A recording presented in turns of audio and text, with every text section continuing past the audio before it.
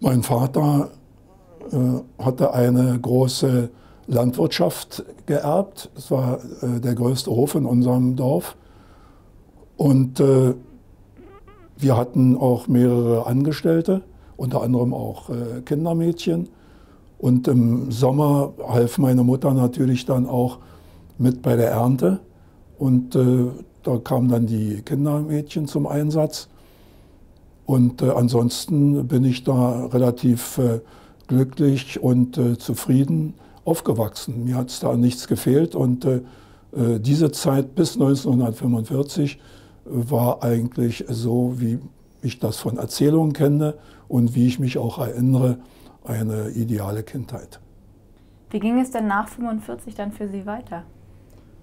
Im Februar 1945 wollten äh, meine Mut, mein Vater und auch andere Dorfbewohner, die Frauen und Kinder, äh, mit, mit einem Zug, mit der Eisenbahn in Richtung Westen schicken. Da war irgendetwas organisiert. Wo das hingehen sollte, weiß ich auch nicht genau. Aber der Zug kam nicht mehr an. weil Wir warteten auf den Bahnhof. Ich, äh, ich, erinnere mich da noch so ein bisschen, dass da auch viel Schnee lag und, äh, das, äh, äh, und, und, der Zug kam eben nicht, weil die Lokomotive, wie es dann äh, später hieß, von äh, Flugzeugen Bomben getroffen worden war und äh, eben äh, äh nicht mehr äh, äh, fahren konnte. Das Gleis war auch nicht mehr benutzbar und so mussten wir also dort bleiben. Bis dann letztendlich im März, Anfang März vermute ich mal, wird das gewesen sein, ein sich auf dem Rückzug befindliche Einheit der Wehrmacht durch unser Dorf kam, in unserem Dorf Rast machte und äh,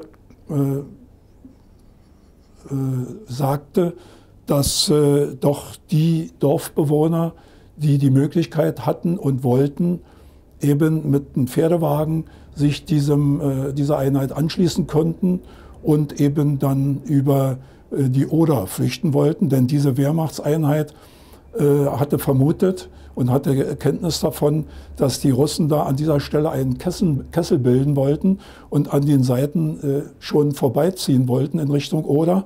Und sie hofften, dass sie eben vor den Russen an der Oder sind, die Brücke noch nicht gesprengt äh, sei und dann eben über die Oder konnten. Und das äh, stellte sich dann eben als großer Irrtum heraus. Äh, wir kamen äh, kurz vor der Oder mit dieser Einheit in ein fürchterliches Feuergefecht ähm, Flugzeuge. Von Flugzeugen wurden wir beschossen äh, und wir hörten draußen immer die Rufe, Panzerfäuste nach, nach vorn und die Frauen, äh, junge Frauen, die auf den Fahrzeugen saßen und auch junge Männer, aber die gab es ja kaum, die waren ja alle letztendlich bei der Wehrmacht eingezogen. Junge Frauen wurden aufgefordert, abzusteigen und eben Panzerfäuste und andere Munition äh, zur, zu der Frontlinie zu transportieren. Daran erinnere ich mich noch und irgendwann hörte dann das Schießen auf und äh, mein Vater saß vorne auf dem Kutschbock natürlich und wir saßen hinten auf dem Wagen. In der Zwischenzeit war meine Oma, meine Großmutter, die auch auf unserem Wagen saß, äh, durch äh, ein Geschoss verletzt. Äh, wir waren also mit einem Holzwagen oben drüber, so eine Plane, wie man das aus dem Wilden Westen kennt, unterwegs. Und da war ein Geschoss durch die Holzwand geschlagen. Und wir saßen da, es war März, also kalt, in, in Betten eingehüllt.